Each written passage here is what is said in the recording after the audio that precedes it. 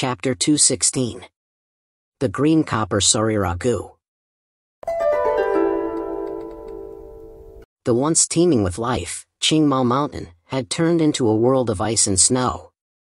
Such disruption had certainly attracted attention from nearby forces. Within the past few months, news of the destruction of Mount Qingmao had reached far and wide. I couldn't dare to think back. All there was, was pain. Fang Yuan sat down, his face was full of sadness. Servants, serve more wine. Seeing that Fang Yuan was unwilling to speak, the Bai clan chief did not pursue the matter further. She then ordered her servants to bring two jugs of wine. Bai Ningbing was indifferent, drinking only water. Fang Yuan immediately broke the seal and gulped a mouthful, then he started to cry again. Junior, why are you crying again? Drinking your clan's wine, smelling its exquisite aroma. I couldn't help but think of our clan's green bamboo wine, of those times we drank on Qingmao Mountain. Fang Yuan was wiping his tears. Among the elders, sobbing sounds got even louder, many tried to console him. In him, they had found a sense of closeness, a connection. After all, the Bai's clan primeval spring was starting to dry out. Failing to find a new one, and the Guyu's clan's sorry state would be theirs. The Bai clan chief tried to console him again, only then did Fang Yuan stop crying. Who would not feel pain when their home is destroyed? I can understand your feelings. But as long as people remain, there is hope. Junior, don't be sad. I believe that in just a few days, you and your clansmen will be reunited. Bai Moshing probed.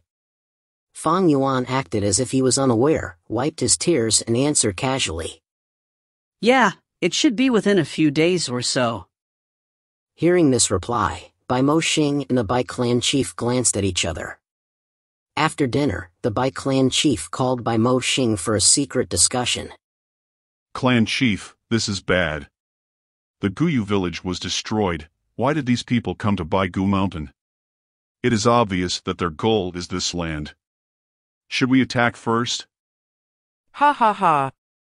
To his surprise, the Bai clan's chief laughed. Why are you laughing? Elder Moshing, calm down.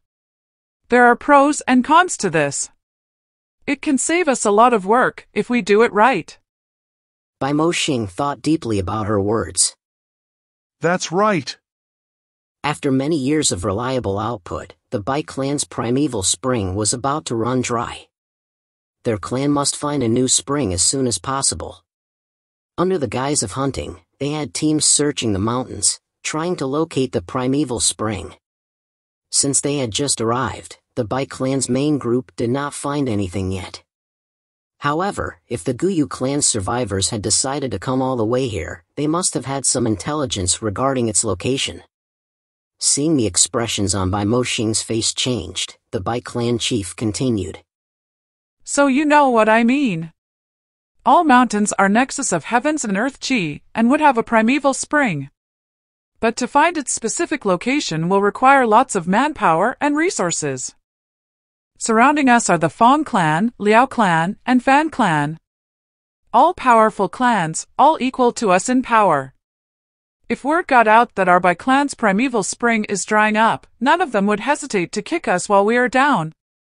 So on top of searching for the spring, we also have to carry it out in secret, taking the guise of hosting a hunting trip, further straining our already stretched thin resources.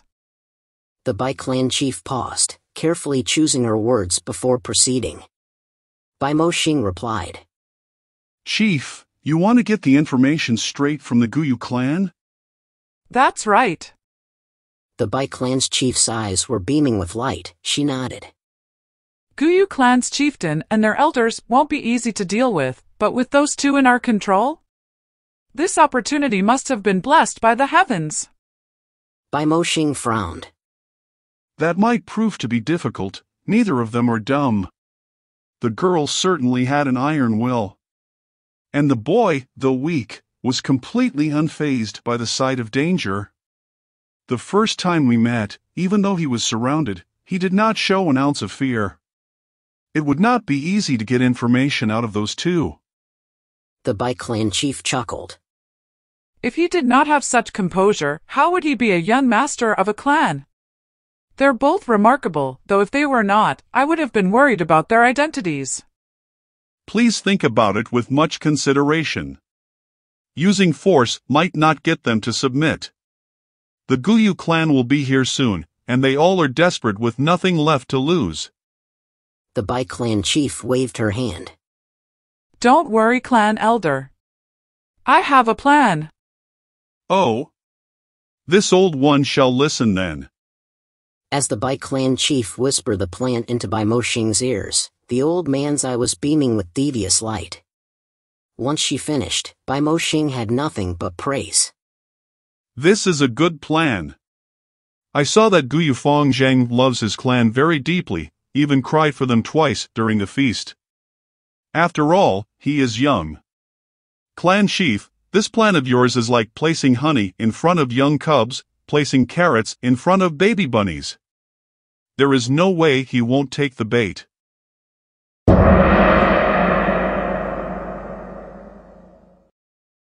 Fang Yuan looked out of the tent. It was night time already, but the Bai Clan's camping ground was very well lit. The tents were set up perfectly into lines, with torches set at intervals, coupled with patrolling groups of Gu masters covering all shifts. Young Master Fang Zheng, what is the matter? He had just opened the tent's cover, and immediately two guards came. He burped, all stinking of wine. I drank a lot tonight. Where's the bathroom? Young Master, right this way. You are our esteemed guest, so the chief has arranged a special one for you no further than 30 steps away. Give me a direction. I do not like anyone near me when I take a piss. I would never dare to disobey young master. It's that wooden house right over there. The guard pointed at it. Fang Yuan got in, and after he was done, he pretended to be drowsy and walked away from his tent instead. Before he could make 20 steps in, the patrols had walked up to him. Esteemed guest, that is the wrong direction. Your tent is over there. Is that so? I remembered it was there. He burped. Esteemed guest, this way please. The Bai Clan Gu master cracked out an uncomfortable smile. His tone was forceful. Fang Yuan was escorted back to his tent. There were lights on inside. Bai Ning Bing was sitting on one of the two beds, meditating, using primeval essence to nurture her aperture. Hearing him entering, she gave an inquiring look. Fang Yuan glanced at her, before falling down onto the bed. Ning Bing, sleep early. You have done a lot these few days. Don't worry, just a few more days, and we will see our family again. His last few words were slurred together. His eyes were closed, and he was snoring. Bai Ning Bing's pupils shrank. Knowing Fang Yuan was acting, she figured he was telling her to be cautious of surveillance Gu bugs. Earlier he went out to the bathroom, only to come back so soon, suggesting the campsite was well patrolled. There was no way they could have made it out without triggering any alarms. The more she thought about it, the more she worried. Though she was at rank 3 peak stage, her Gu bugs were not optimal, and there were the Bai clan chief, who was rank 4, about 5-6 elders, and a lot of rank 2s. To be meat on somebody's chopping board was their current situation. The Bai clan might be on the righteous path, but birds died for food, humans died for wealth. If the benefits were to outweigh the risks, they would not hesitate to commit murder. She knew the Gu bugs Fang Yuan had were all extremely rare. Especially the heavenly primeval treasured lotus and the blood skull Gu, once known, would certainly attract a lot of greed from the Bai clan's Gu masters. The only reason they had not attacked was entirely because Fang Yuan used the non-existent Guyu clansmen to pull wool over their eyes for now. The next few days, when they saw that the Guyu clan did not arrive, they would be in serious danger. How do I get out of this? Bai Ning Bing frowned, staring at Fang Yuan. He had already turned around, his back facing her. From the sound of his relaxed breathing, he had already fallen asleep. You sure take it easy. Bai Ning Bing snorted, feeling anxious and helpless.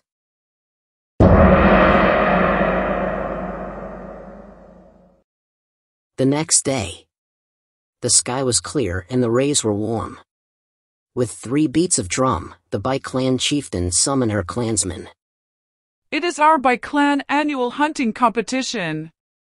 The game begins today and will continue for the next seven days. It is time for you to display your strength. Following common rules, all ranked positions will be rewarded appropriately. Going next, feel free to display all your bravery and skills. The Bai clan chief waved her hand, and the campsite's gate opened. Eager to start, many Gu master rushed out impatiently.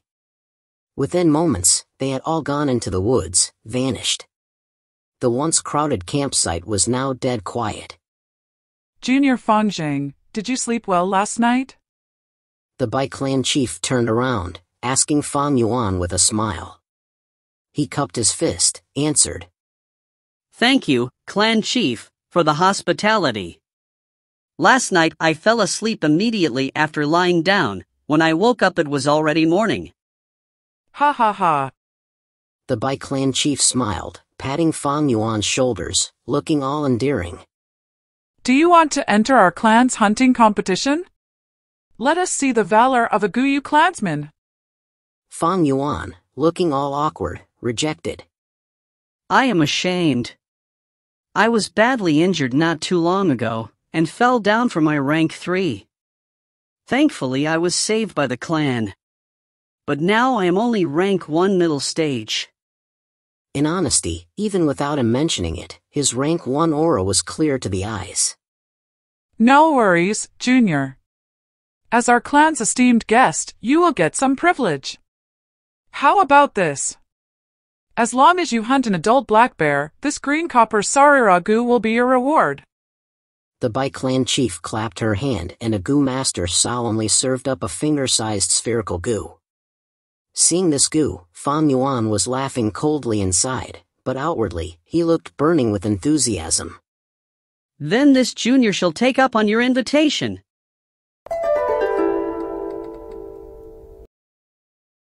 Chapter 217 Letting People Get a Hold of Your Tail.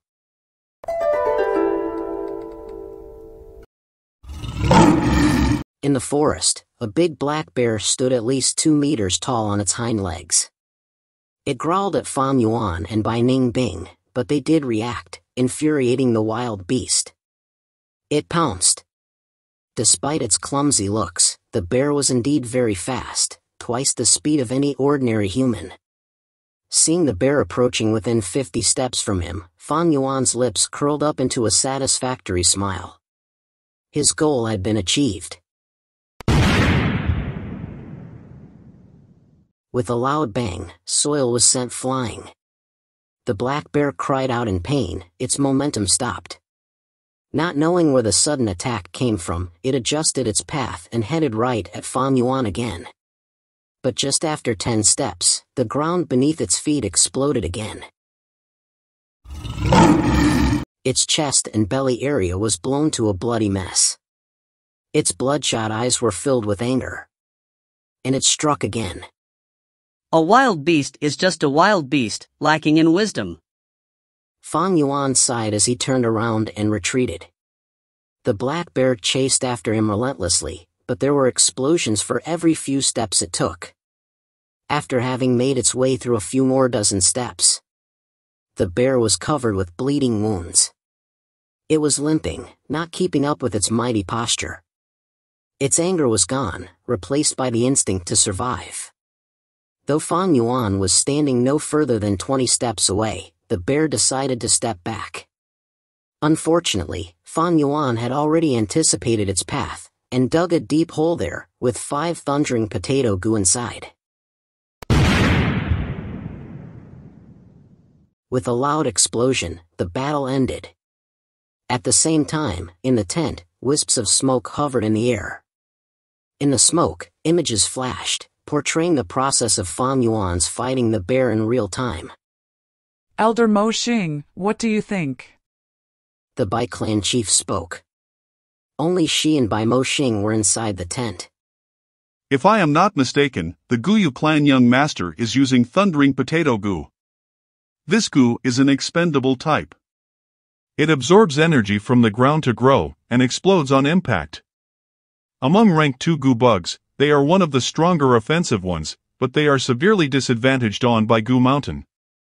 There is no soil, even the rocks were made of bones, so thundering potato Gu cannot be planted. Bai Mo Xing spoke cautiously, but the Bai clan chief shook her head. Your analysis is not wrong, but that is not what I'm trying to talk about.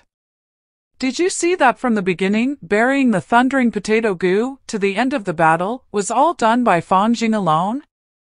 He has a rank 3 bodyguard, but chose to do the tedious way of using rank 2 thundering potato Gu by himself. Every time he buries a seed, he has to use primeval stones to recover, yet he insists on doing it himself. What does that say? Bai Mo Xing's eyes sparkled. I understand it now. This Fang Zheng is an upright person, not one who likes tricks and shortcuts. He had agreed to join the hunt, so matter how difficult it is, he will not use outside power to cheat. People who cheat are those with weak will, while upright people are immovable. If we want to find out the location of the primeval spring from those two, we must do it with subtlety, using our wits. Ha ha! I have more confidence in my plan now.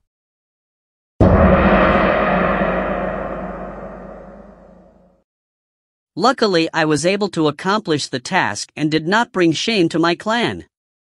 Fang Yuan placed a torn bear skin in front of the Bai clan chieftain. Ha ha ha, so quick! Yet you took down a black bear. No wonder you are the Guyu clan's young master. The Bai clan chief's face showed just the right amount of shock, which immediately turned into a smile. Junior might as well go back and rest. I will have the green copper Sarira Gu sent over shortly. Thank you, clan chief. This junior will take his leave. Fang Yuan and Bai Ning Bing left.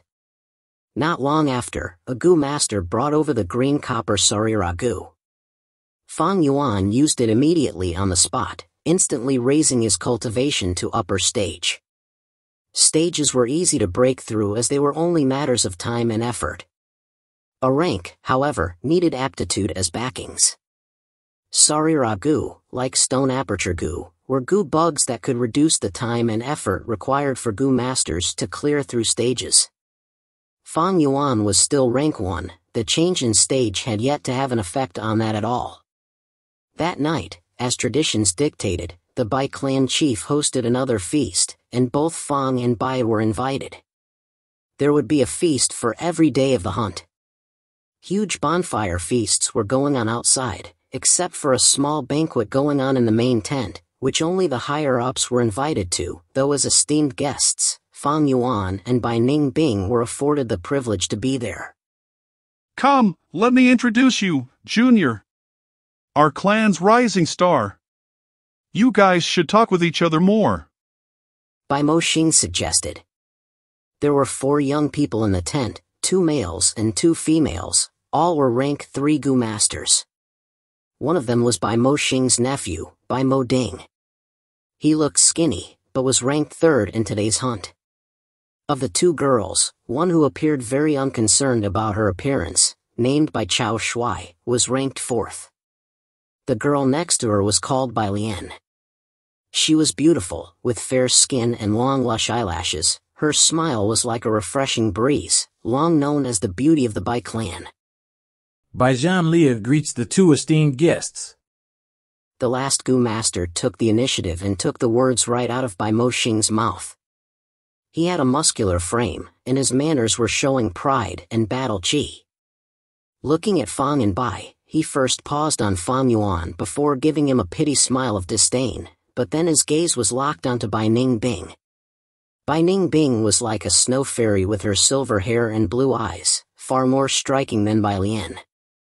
More importantly, she was at rank 3 peak stage, piquing Bai Zhan Lia's interest. He snorted. It seems that your Guyu clan has strong women and weak men? Bai Ning Bing was like an ice carving, showing no reaction. Fang Yuan's expression turned cold and slightly frightening. The Bai clan chief interrupted. This is the number one youngster in our clan. Junior, please don't blame him for his inconsiderate words. Of course not. Brother Zhan Lia is a dragon among men. I am deeply honored. He used a complicated tone, displaying just the right response. A little bit of restraint from being under someone else's roof. A little bit of helplessness from his low rank. And a little bit of pride from his supposed young age.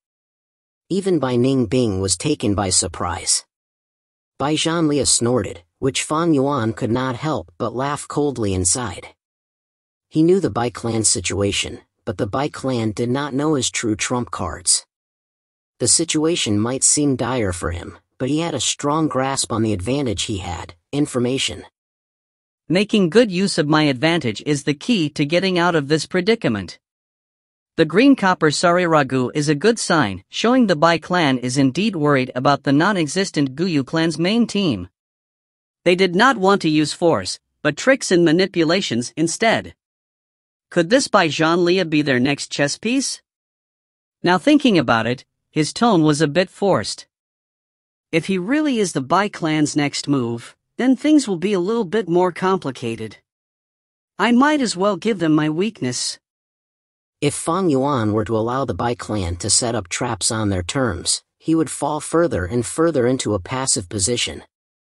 Therefore, he might as well give others a tail to get a hold of him, throwing out some fake weaknesses to gain the initiative. Thinking of this, Fang Yuan swept the entire tent, and came up with an idea. He peeked at Bai Lian across the table. After a while, Bai Lian seemed to have noticed his gaze, but Fang Yuan then turned his head away, looking elsewhere. As the dinner went on, Fang Yuan took several more looks at Bai Lian, but avoided making eye contact with her. The feast was in its later half, and Fang Yuan was staring at Bai Lian more often. The Bai clan chief, together with several elders, all noticed. The elders were showing amusement in their eyes. To be charmed was human nature, and Bai Lian was the number one beauty of the Bai clan. It was only normal that the Guyu young master was attracted to her. After the feast was over, Bai Mo Xing excitedly went to see the clan chief. Clan chief, did you see what happened during dinner? The Bai clan chief smiled. Let's adjust the plan. The night passed without any hiccups. During the second day of the hunt, the Bai clan chief called Fang Yuan again, telling him to hunt an earthhorn rhino. Using the same method, Fang Yuan blasted the rhino with thundering potato Gu, then brought back its horn, which the Bai clan chief then rewarded him with a de-inflammation Gu. Looking like a fossilized beetle, the jade-like translucent Gu bug gave off a cooling chi when held in hand. This Gu was a rank 2 healing Gu, specialized in treating poisons. With this Gu, Fang Yuan finally solved his biggest weakness. Another dinner feast went on. This is my son and daughter. Bai Sheng, Bai Hua, stand up and give this older brother a toast. The Bai clan chief said. The twins stood up, raising their cups with both hands like adults, speaking in unison. Bai Bai Hua Xing toasts toasts Gu Gu Young Young Master. Master. They bowed slightly, with solemn expression, fully displaying their good upbringing. There was no sign of childish stubbornness. Fang Yuan was shocked, immediately sizing up this pair of twins. According to his previous life, these two kids would become the famous twin stars of Righteous Path, who were extremely well known for a time. They both reached rank 5 and developed the Bai clan village to an unprecedented height. At the same time, they were the inheritors of the Baigu Mountain legacy. Bai Xing eventually became clan chief. It was common for a clan to pass on their chieftainship to the clan's chief's children. Though in the Guyu clan's case, the clan chief did not have any children, so an outstanding youngster with high aptitude from their purest bloodline descendants was chosen, Fang Zheng. All humans underwent a growing process. Bai Sheng and Bai Hua might be great heroes in the future, But now they were only children, not even Gu masters yet. Fang Yuan retracted his gaze and focused on Bai Lian again. The feast continued. Fang Yuan continued to sneak peeks at Bai Lian, which Bai Zhan Liu was aware of, and his words became even more unforgiving. Bai Mo Xing's nephew Bai Mo Ding, on the other hand, was sneaking peeks at Bai Ning Bing.